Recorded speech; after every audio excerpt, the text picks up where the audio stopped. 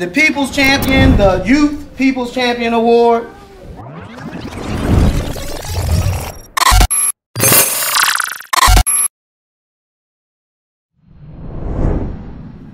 You can't do anything in today's world unless you're attached to social media in some way, pictures, sending them, doing things.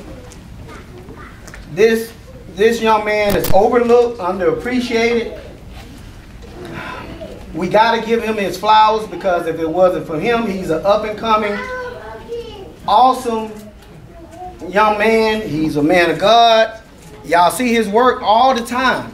But people re really never appreciate him or give him the love he needs. Now I know I can say I can say, well, he don't show us as much love as he need to. It's not about us. It's about everybody. So somebody else was getting the love.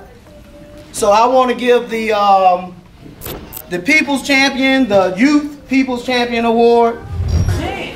This young man is gonna have to get his camera, and he's gonna have to let. Uh, can you come hold his camera, Jason? This award we give to you, man. I'm really, really proud. I know you don't receive the love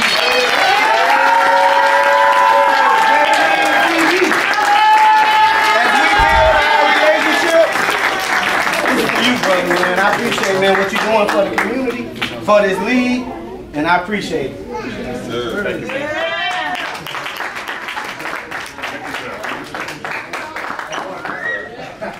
All righty.